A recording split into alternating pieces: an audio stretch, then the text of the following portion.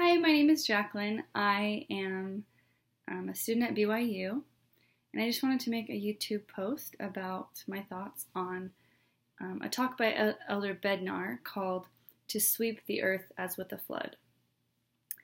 And um, the main thing that he spoke about in his talk was um, just how technology in this dispensation has um, really just swept the earth like a flood. Um, technology comes out so quickly, and the things that we can do on our smartphones, um, people 10 years ago wouldn't believe. Um, and he addresses um, social media, um, such as Facebook and Instagram, as well as YouTube and Twitter.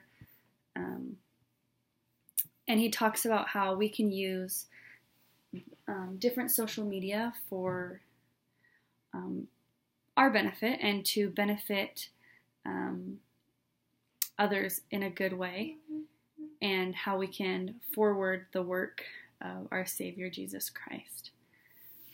There was um, a specific quote by President Brigham Young that I just wanted to share. And it says Every discovery in science and art that is really true and useful to mankind has been given by direct revelation from God. Though but few acknowledge it, it has been given with a few, excuse me, has been given with a view to prepare the way for the ultimate triumph of truth and the redemption of the earth from the power of sin and Satan. We should take advantage of all these great discoveries, the accumulated wisdom of ages, and give to our children the benefit of every branch of useful knowledge to prepare them to step forward and efficiently do their part in the great work. So I really like this quote just because I think back to when Brigham Young was a prophet and wonder if he saw our day and was able to see how technology has benefited the church so greatly. Um, one of the ways that I think about how technology has benefited um, the the church and the furthering of the work and the hastening of the work is through family history. Um, lately, I have been able to go to the family history Sunday school class with my husband, and we've really been able to see how technology has um, helped with family history. Um, it's so easy to find temple names to be able to go do the work um, now. It's not difficult at all. Um, all you have to do is have a computer and and um, know how to work it. Um, and even then, they have help and there are guides and there are instructions and there are family history workers that can help you all along the way. Um, and now you don't even need to print it, print the names at a family history center. Um, you can just print them at home at your own computer on white paper.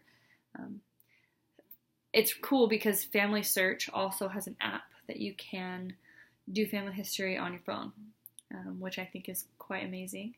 Um, because I think about all the people that family history and temple work benefits, and being able to have that power at your fingertips um, is really a game changer for um, our missionary efforts in that in the um, spirit world.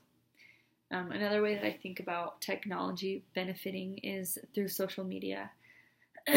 My cousin is on a mission in Arizona, and she is a Facebook missionary there.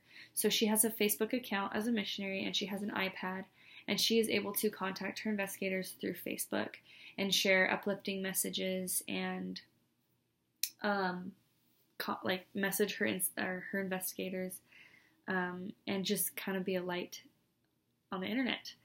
And I think that that's so prevalent just because Facebook, I mean, everybody has a Facebook. And so it's so cool that she's able to, um, uh, that she is able to use Facebook to benefit and forward the work um, of salvation.